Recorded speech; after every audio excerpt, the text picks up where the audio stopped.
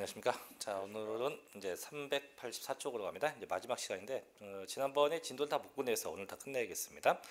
자, 이제 384쪽이 양도세 비과세로 갈게요. 자, 비과세인데 음,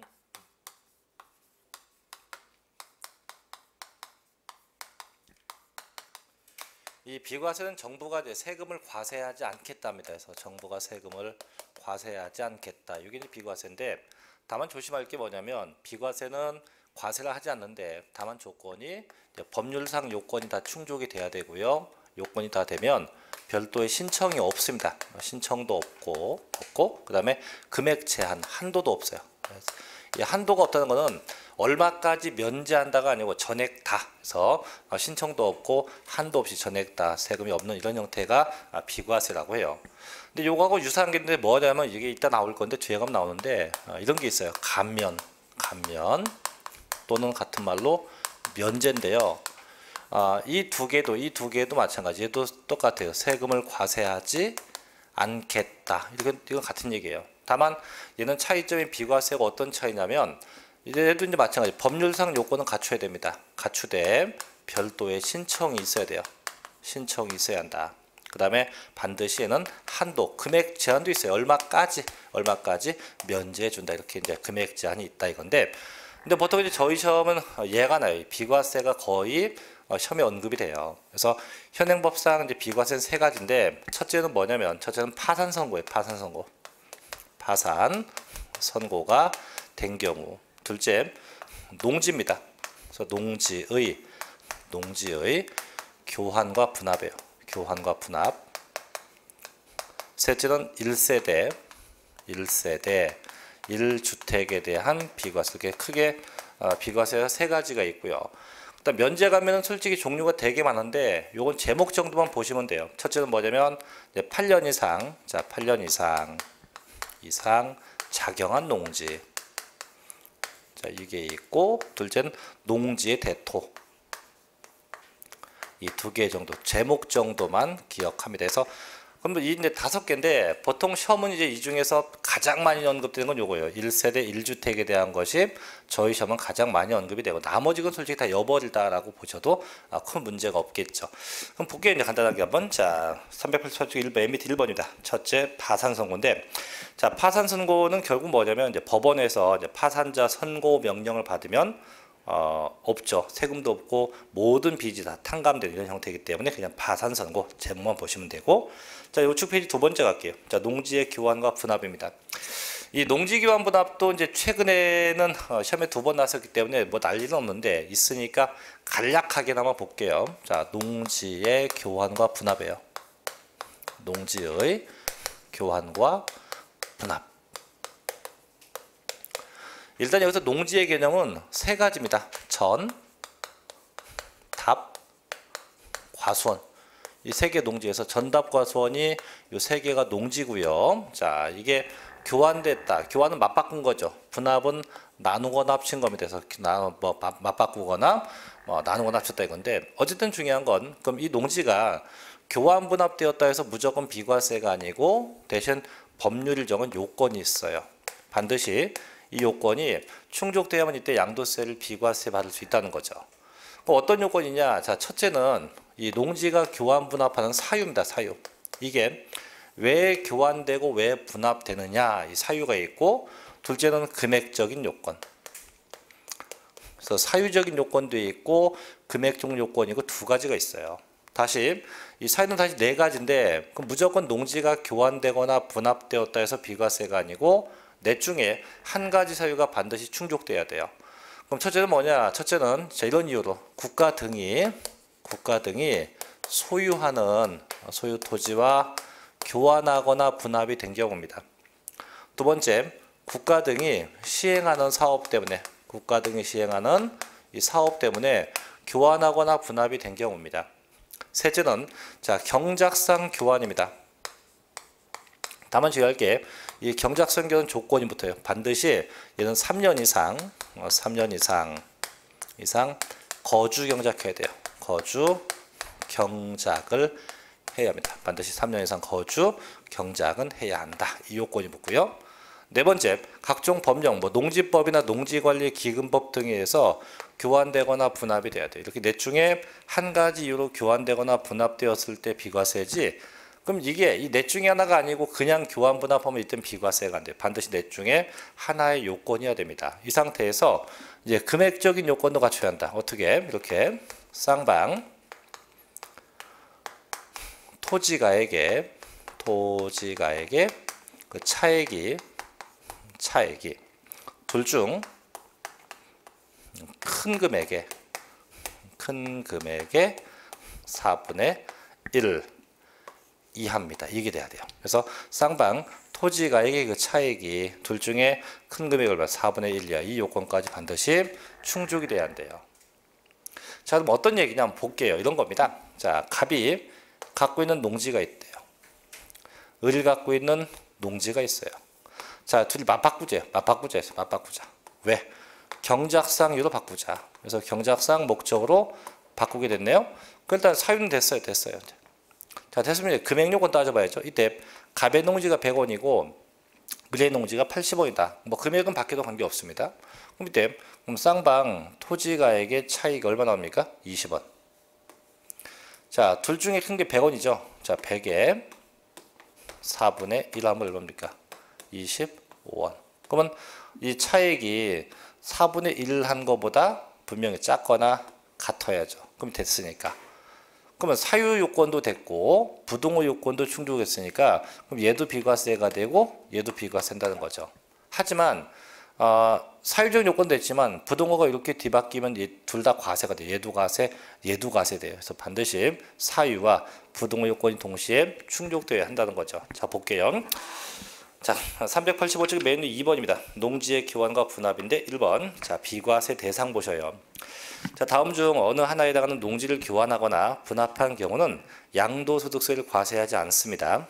다만 교환하거나 분합하는 어, 쌍방 토지가액의 차액이 가액이 큰 편이 얼마 4분의 1 이하여야 돼서 반드시 그 요건이 충족돼야만 이때 비과세가 가능하다는 거죠. 그래서 1번 자 국가나 혹은 지방자치단체가 시행하는 사업으로 인해서 교환하거나 분합했다. 둘째 국가나 혹은 지방자치단체가 소유하는 토지와 교환하거나 분합했다. 셋째 자 경작상 나오죠. 그래서 경작상 필요에 의해서 교환했대요. 다만 이 디귿번은 3번은 반드시 새로운 농지를 취득하고 나서 몇 년, 3년 이상 농지 소재지에서 거주 경작을 해야 합니다.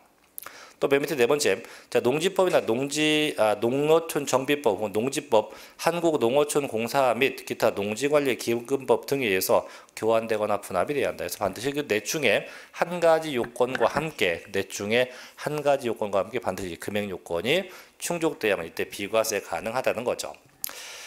자, 다만 이제 맨 밑에 2번 보죠. 자, 비과세가 배제인데 이건 뭐냐면 아무리 이런 요건이 다 돼도 비과세가 안 된대요. 뭐 사유가 됐건 금액이 됐건 다 됐어도 비과세가 안 되는 것도 있다. 어떤 게나 보죠. 1번. 자, 양도일 현재입니다. 자, 특별시 오는 광역시입니다.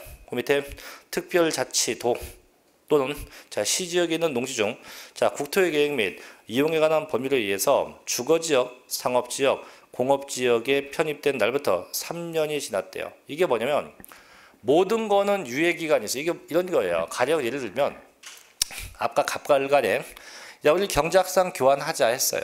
해놓고 금액을 다 따져 보니까 둘 다 비과세 요건이 다 돼요. 그래서 둘 다 이제 언제 교환하게 되냐면 금년도 농사 다 짓고 자 12월 우리 31일 날 교환하자 이렇게 이제 둘 다 협의를 했어요.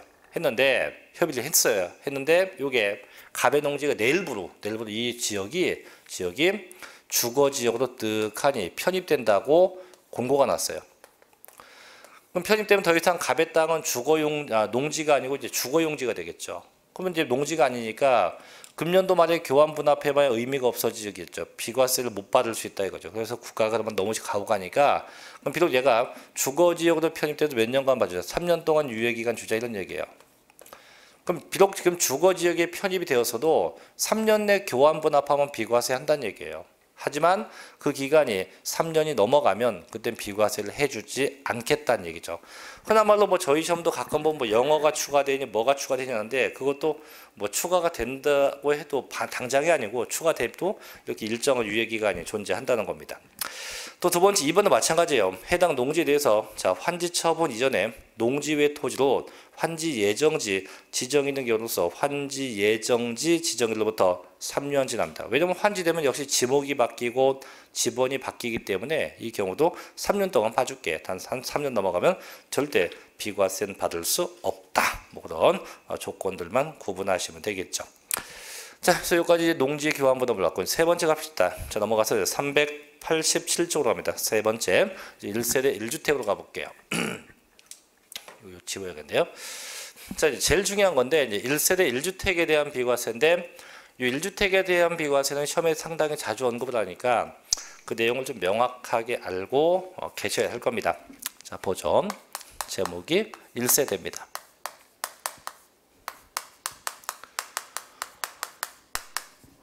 1세대 1주택에 대한 비과세입니다. 1세대 1주택 비과세인데 결론부터 얘기하면 뭐냐면 이거예요. 아, 어떤 갑신의 가족이 갑신의 가족이에요. 갑신의 가족이 갑신의 가족이 가족이 집을 한 채 삽니다. 이 집은 뭐 갑이 단독 명의로 등기했건 뭐 부부 공동 명의 됐건 가족 명의가 됐건 관계 없어요. 약간 집이 한 채가 있고 이 한 채를 갖고 있다가 쭉 갖고 있다가 이 집을 팔아요. 이 집을 팝니다. 이 집을 팔게 되면 양도세 없다 그 얘기예요. 단 조건이 있어요. 분명히 한, 한 가족, 이 한 가족이 집을 사서 갖고 있다 파는데 이 갖고 있는 기간이 최소 2년 이상은 최소 2년 이상 보유했어야 돼. 최소 2년 넘게 보유했다가 요 집을 팔았을 때 그때 비과세된다 이거죠. 다만 주의할 게 이렇게 양도할 때 집이 딸랑 하나일 때 비과세, 하나일 때 비과세요. 그럼 얘가 자 이 값이 나가지고 집이 있는데 집 하나를 또 샀어요. 또 삽니다. 또 샀고 요거 파는 순간에 집이 또 있다 이렇게 두 개가 있었다 이거죠. 두 개가 있는 상태라면 이때는 이걸 팔게 돼도 양도세를 비과세 못 받아요. 왜냐면 여기서 1주택이라는 놈은 어, 초지일관 주택이 하나 있다가 아니고 양도 시점에 양도 시점에 주택이 딱 한 채만 있어야 한다 그런 얘기예요. 그렇기 때문에 얘를 파는데 얘가 또 있다. 그럼 얘는 세금 내야 돼요. 내야 돼요. 내고 훗날 나중에 얘를 판다. 그럼 얘를 판다면 나중에 판다고 하면 이거밖에 없으니까 이땐 당연히 비과세 가능할 수 있겠죠. 왜? 요거 하나밖에 없으니까. 그래서 항상 1주택은 제일 마지막에 파는 거 그 주택 한 채만 비과세 된다 이거예요. 그럼 내가 집이 10개다. 10개고 10개를 쭉 판다면 처음부터 몇 번째 것까지 아홉 번째 것까지는 다 세금 내야 돼요. 그래서 제일 마지막에 있는 것만 비과세 요건이 될 수 있다 이런 거죠. 그래서 항상 1주택이어야 되고 참고로 그럼 얘가 이제 그럼 분명히요. 주택이 두 개만 해가 먼저 판 건 과세 나중 건 비과세입니다. 근데 이때 그럼 두 채를 동시에 팔았다. 두 개를. 자, 집이 두 채고 두 채를 동시에 팔게 돼요. 그럼 동시에 팔아도 똑같아요. 동시에 팔아도 어, 하나는 과세, 하나 비과세 돼요. 그럼 어떤 게 과세고 어떤 게 비과세냐? 이 동시에 팔게 되면 내가 선택할 수 있어요. 양도자가 선택해서 선택해서 나 이거 비과세, 이거 과세 선택할 수 있습니다. 그럼 볼게요. 1세대 갑시다. 근데 지금 1세대가 뭐냐 이건데 1세대는 한 가족, 납니다. 나. 나하고 and 대원칙은 배우자가 있어야 돼요. 그래서 나하고 대원칙은 반드시 배우자가 있어야 한다. 그래야만 나하고 자식, 아, 배우자하고 힘을 합쳐서 누구나 자식도 날 수 있죠. 그래서 이게 1세대라고 해요. 1세대. 그래서 원칙은 배우자가 반드시 존재해야 됩니다. 하지만 부득이한 경우는 이 배우자가 없어도 없어도 1세대가 되는 경우가 있습니다. 그래서 원칙은 배우자가 있는 게 원칙인데 부득이 없대요. 없었다. 그럼 언제냐? 첫째, 저 친구, 저 거주자 나이가 제 나이가 저, 저 거주자 나이가 30세 이상일 때. 둘째, 저 배우자가 저 배우자가 사망했거나 이혼했을 때.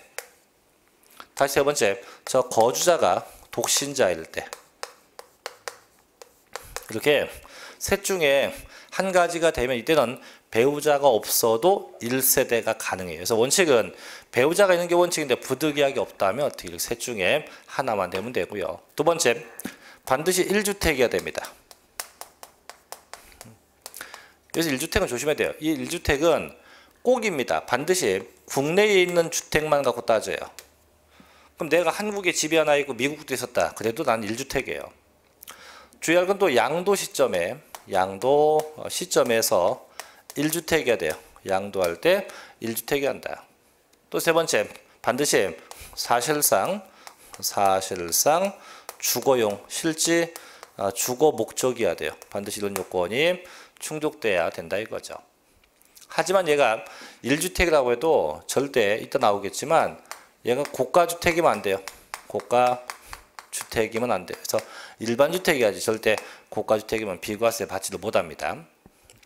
자, 세 번째. 반드시 2년 이상 보유돼야 돼요. 2년 이상 보유. 2년 이상 보유해야 한다. 언제부터 언제까지? 그 주택의 취득일로부터 그 주택의 양도일까지 무조건 최소한 2년 넘게는 보유가 돼야 돼요. 네 번째, 대신 등기돼야 됩니다. 요게 1세대 1주택 2년 넘어서도 미등기 되면 비과세인데 반드시 등기돼야만 비과세 가능하게 되고요. 그 다음에 다섯 번째, 그 부수 토지가 포함됩니다. 이게 뭔 얘기냐면 지워놨지만 아까 주택이 이렇게 있잖아요. 있고 땅이 있으면 주택이 비과세면 이 땅도 비과세가 돼. 땅도 비과세.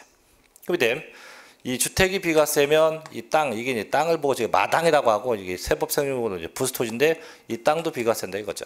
하지만 이게 무조건 비과세가 아니고 주택이 어디에 있냐? 첫째 주택이 도시 지역 안에 있으면 주택 면적의 다섯 배까지 비과세가 되고 주택이 도시 지역 밖에 있으면 최대 10배까지 비과세가 되게 돼요. 그래서 토지가 무한정이 아니고 이렇게 토지 면적에 제한이 있다는 거죠. 자, 보셔요. 자, 187조 갑니다. 자, 밑에 중간에 3번 1세대 1주택입니다.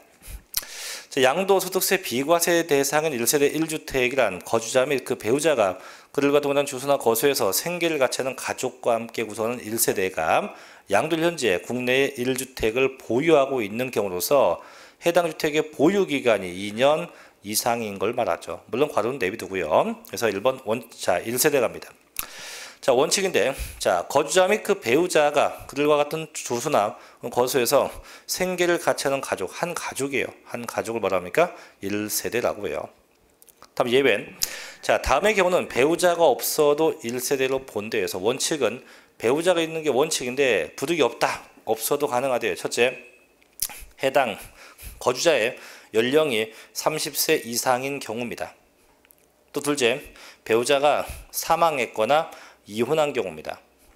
셋째, 소득세법 규정에 따른 소득이 국민 기초생활보장법에 따른 기준 중위소득의 100분의 40 이상으로서 소유하고 있는 주택이나 토지를 관리 유지하면서 독립된 생계를 유지한 경우입니다. 일명 독신자입니다. 그래서 이렇게 셋 중에 하나가 되면 배우자가 없어도 가능하다. 그래서 원칙은 배우자가 있어야 합니다. 하지만 부득이하게 없어도 가능하다. 자, 넘겨서 과로 1번 가죠. 자, 388쪽 2번. 자, 2번. 양도일련지 어디에? 국내에. 자, 주택이 몇 개에 대요? 하나입니다. 분명히 국내에 있는 주택만 갖고 따집니다. 외국에 있는 거 안 따져요. 항상 국내에 있는 주택만 갖고 판정해서 주택이 몇 개인지를 결정하게 돼요. 그래서 원칙, 양도일 현재 국내에 1주택만을 보유해야 한다. 다만 자, 두 개 이상 주택을 같은 날 동시에 양도해요. 하면 해당 거주자가 선택하는 순서에 의해서 양도된 것으로 봅니다. 그래서 분명히 양도할 때 주택이 딱 몇 개? 하나여야 돼요. 분명히 양도할 때 몇 개? 주택 달랑 하나여야 됩니다. 자, 여기까지 쉬워요, 이제. 자, 문제는 이제 맨 밑에 갑니다. 자, 388쪽 맨 밑에 예외인데 자, 요 예외는 시험에 무지 잘 납니다. 잘 봐야 돼요, 지금부터. 그럼 분명히 지금 계속 얘기하는 거지만 양도 시점의 주택이 하나일 때 비과세인데 지금부터 볼 건요. 양도 시점에 주택이 두 개, 두 개. 1세대 2주택이에요. 그럼에도 불구하고 1세대 1주택으로 인정해 준다는 겁니다. 실제 두 개예요. 아까도 얘기했지만 두 개일 때는 하나를 팔게 되면 양도세를 내야 돼요. 근데 지금부터 볼 거는 양도할 때 주택이 두 채임에도 불구하고 한 채로 봐서 봐서 뭐 한다? 아, 비과세 해 주겠다라고 하는 겁니다. 봐서 뭐 해주겠다? 비과세 해 주겠다 이런 내용을 담고 있는 거예요. 아 근데 그럼 아까하고 안 맞지 않냐? 아까는 분명히 주택이 두 개일 때 먼저 판 건 과세고 나중 건 비과세라며. 예. 근데 지금 왜 어, 먼저 것도 비과세고 나중 것도 비과세냐? 그 이유가 있는데 이유가 뭐냐면 저 두 채가 된 이유가 부득이하게 어떤 경우냐면 내가 투기적 목적이 없고 집이 한 채 있는데 이번에 아버지가 사망을 해서 상속받게 됐어요. 주택 하나 상속받았어요. 그래서 두 개 됐어요. 그럼 상속받은 건 투기적 목적이 없는 거잖아요. 이렇게 부득이하게 두 개가 되면 이건 국가가 봐준다 이거죠. 대신에 이게 봐주는데 조건이 있어요. 저희가 세상 이치하고 똑같은데 봐주게 되면 조건이 붙어요. 두 가지 조건이. 첫째, 첫째, 처분 주택이 정해집니다. 법에서 대신 너 봐주는 대신 이거 먼저 처분해야 돼 라고 정해주고요. 두 번째는 또 처분 기간도 있어요. 처분 기간 주택을 파는 이 처분 기간도 정해줍니다. 처분한 주택과 처분 기간이 정해지게 돼요. 그래서 요게 이제 그 기업법부터 나올 건데 한번 볼게요, 같이. 자, 388쪽 맨 밑에 예외입니다. 자, 양도 현재 1세대가 1주택을 양도한 경우에만 비과세됨이 원칙입니다. 허나 다음과 같은 경우는 양도 현재 1주택의 양도가 아님에도 불구하고 1세대 1주택의 양도로 본대요. 그래서 분명히 양도할 때 주택이 두 채임에도 불구하고 몇 채로 하나 있는 거로 본다는 얘기예요. 그래서 넘겨서 봐요. 이제 자 기업권 갑니다.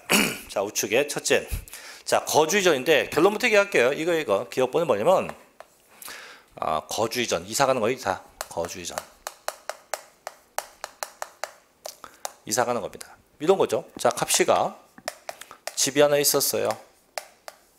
이게 종전부터 갖고 있던 주택이에요. 그리고 요번에 이사 가려고 새 집을 샀습니다. 새 집을 치르게 이게 신주택이에요. 샀어요.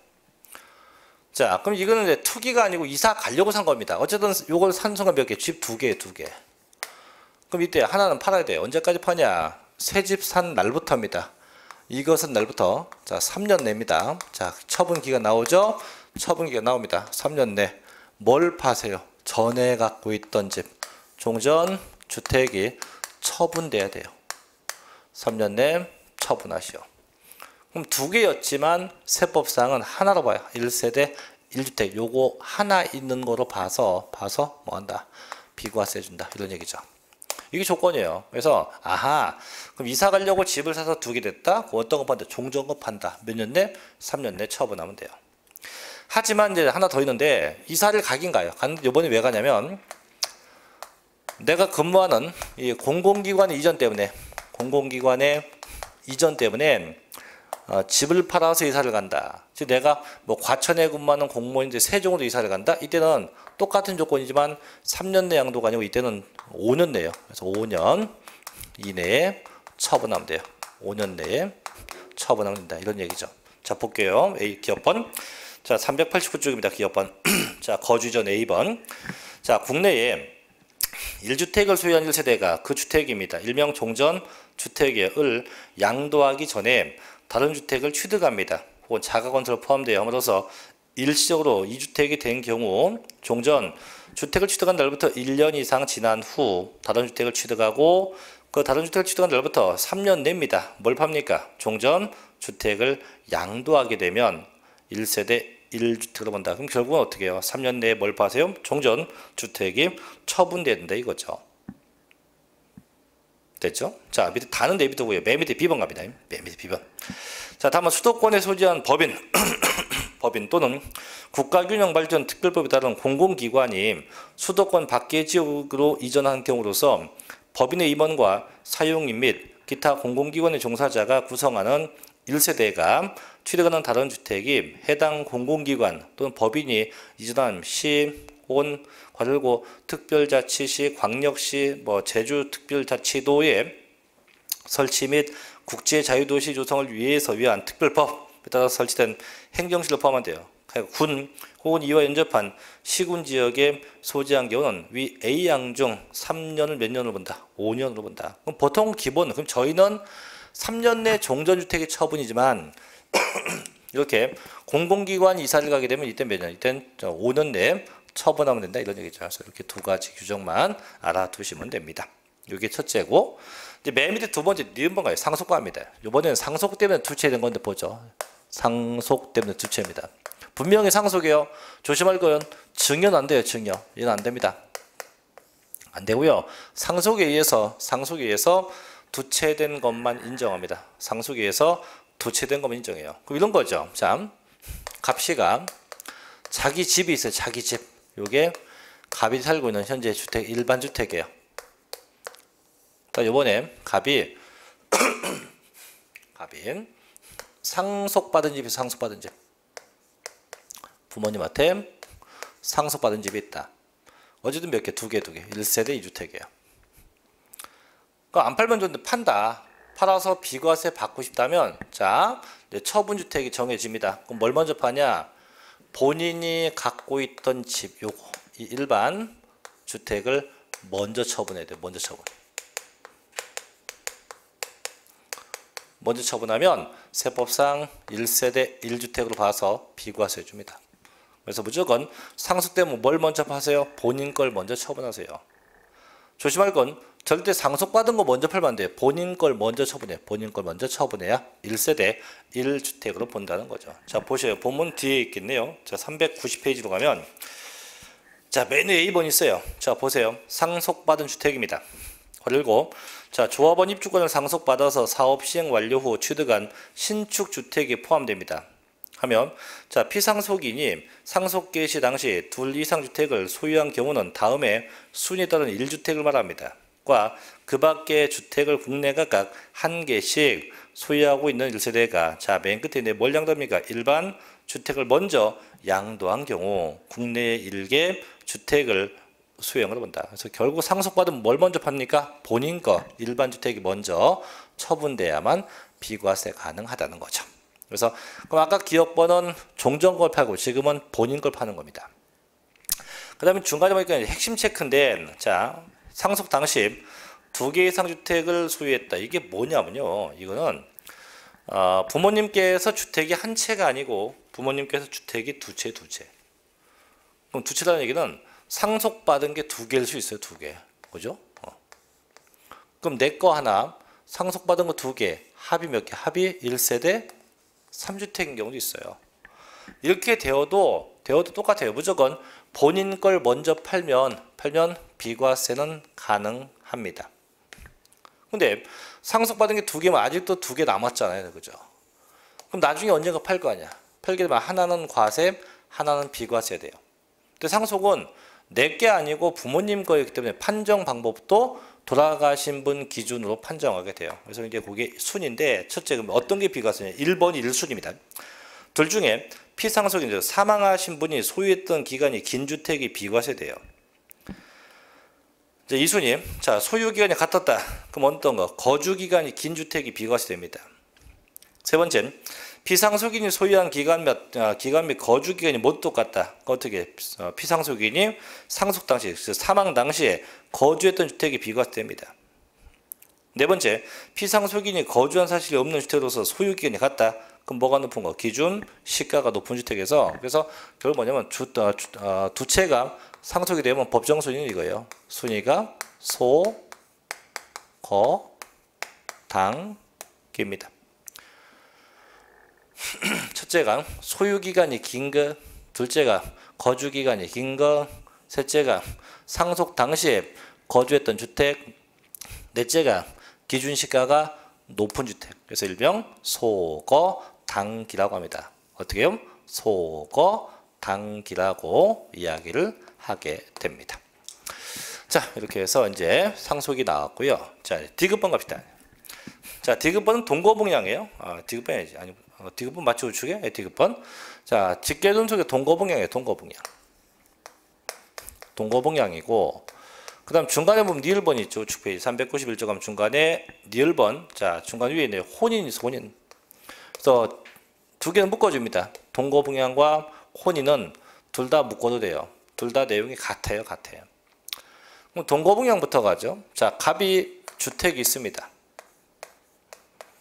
자, 갑의 부모님도 집이 있어요. 근데 모신다고 두 집이 오늘 합쳤어요. 그래서 갑이 부모님 집에 가서 모시든지 부모님이 오시든지 합쳐요. 합치면 집 몇 개입니까? 두 개. 1세대 2주택이 돼요. 그 하나를 팔면 돼. 언제까지 파냐? 그 합가 1부터입니다. 합가 1로부터 아, 팔아요. 언제까지? 합가 1로부터. 몇 년? 기간이 있어요. 5년 내에 5년 내. 5년 내 팔면 돼요. 근데 이번에는 대신 주의할 게 자, 아까는 얘는 뭘 팔아요? 종전 거 팔라고 돼 있었죠? 일반 거 팔라고 돼 있죠? 근데 얘는 일갈 수도 있고 일갈 수 있기 때문에 파는 주택이 어떻게 분명할 수 없어요. 그래서 얘는 5년 그냥 5년 내 둘 중에 5년 내 한 채만 처분하면 돼요. 5년 내 한 채를 처분하면 돼요. 5년 내 한 채만 처분하지 얘는 정해진 주택이 없어요. 하기 쉽게 5년 내 한 채만 처분하면 됩니다. 그 혼인은 어떻게 해요? 혼인은 말만 바꾸면 돼요. 여 부모님이 아니고 여자 여자. 어떤 데가 여자와 함께 혼인하게 되었다. 근데 이 여자도 집이 있었네요. 그럼 역시 몇 개입니까? 두 개. 그러면 말만 바꾸면 돼요. 합가일이 아니고 언제부터? 혼인 일로부터. 혼인 일로부터 똑같아. 몇년 내? 5년 내요. 혼인 일로부터 5년 내 한 채를 처분하면 돼. 이렇게 해서 각각의 규정인데. 그래서 이건 뭐 내용 안 읽어볼게요. 무조건 그럼 동거분양 혼인은 같다. 몇 년 내 파세요? 5년 내입니다. 뭘 파세요? 둘 중에 한 채만 처분하면 됩니다. 자, 다음 미음번, 비읍번인데 이것도 묶어요. 자, 미음, 비읍번 똑같은데 자, 미음, 비읍을 묶을게요. 자, 미음번. 미음번은 문화재입니다. 문화재. 이런 거예요, 이거는. 자, 갑시가 집이 하나 있어요. 현재 갑이 살고 있는 일반 주택이에요. 일반 주택. 자, 갑시는 현재 문화재로 지정된 주택도 있다. 현재 문화재로 지정된 주택도 있다. 어이했던 주택은 몇 개입니까? 두 개, 두 개. 두 개, 두 개. 그 하나를 팔면 돼요. 그럼 뭘 파냐? 똑같아요. 갑이 갖고 있었던 일반 주택이에요. 일반 주택을 팔아요. 언제 파냐? 먼저 팔면 돼요. 똑같아요. 먼저 처분하시오. 그럼 1세대 1주택으로 와서 비과세 해줍니다. 없어요. 그래서 무조건 아하 그럼 문화재하고 일반 주택이 있었다. 뭘 먼저 판다? 일반 주택이 먼저 처분되면 된대요. 하나 더 봅시다. 그럼 자 비읍번 갑시다. 자 비읍번. 현재는 뭐냐 이거죠. 이번에는 농어촌 주택이 된 거. 농어촌 주택. 보세요. 자 갑이 살고 있는 일반 주택이. 일반 주택이 있고 그 다음에 자 농어촌에 농어촌에 주택이 하나 또 있대요. 그럼 얘도 마찬가지예요. 팔다? 그럼 뭘 먼저 팔면 돼요? 일반 주택에 이를 먼저 팔면 돼요. 먼저 처분하면 돼요. 하면 세법상 1세대 1주택으로 봐서 비과세된다. 그 둘 다 같잖아요. 그죠? 그래서 무조건 그 문화재하고 농어촌은 뭘 먼저 판다? 일반 주택이 먼저 처분돼야 한다. 다만 이 농어촌 주택은 조건이 있어요. 이 농촌 주택은 첫째 이게 상속받은 농촌 주택이거나 아니면 이농주택이든가 아니면 귀농주택이든가 셋 중에 하나일 때만 가능합니다. 어쨌든 중요한, 중요한 건 둘 다 뭘 먼저 파세요? 일반 주택이 먼저 처분돼야 돼요. 일반 주택이 먼저 처분돼야 한다. 그래서 뭐 굳이 읽어보지 않겠습니다. 그래서 일단 일반 주택이 먼저 처분되어야 한다. 그것만 좀 알아두시면 되겠고요. 자, 그럼 넘겨서 이제 마지막 합니다. 이제 하나 더 갈 건데, 자, 그 뒷페이지 가면 500, 아, 350, 353쪽에 메뉴에 가면 시옷번도 있죠. 요거 조심해야 돼요. 특히 시옷번인데, 요게 저 기억번하고 헷갈리시면 안 돼요. 요게. 자, 얘가 뭐냐면 제목인 아, 실수의 목적인데, 자, 얘도 이사를 가는 거 똑같아요. 자, 보세요. 갑이 집이 있어요. 갑이 갖고 있는 일반 주택이 있고, 이 상태에서 이사를 가려고 집을 삽니다. 분명 이사 가는 거 이사 가려고 집을 샀어요. 이게 신주택이죠. 자, 그럼 집 두 개입니다. 그 하나 팔면 돼요. 뭘 파냐? 당연히 이거 팔면 돼요, 이거. 전에 갖고 있던 집을 어, 처분하면 됩니다. 근데 문제는 언제까지 팔 거냐? 아까 제 이 기억번은 이 새 집을 산 날부터 3년 내 팔았잖아요. 그죠? 근데 이번에는 새 집 산 날부터가 아니에요. 일단 조심할 게 이사 가는 목적이 있어요. 목적. 목적이 학교의 취약이나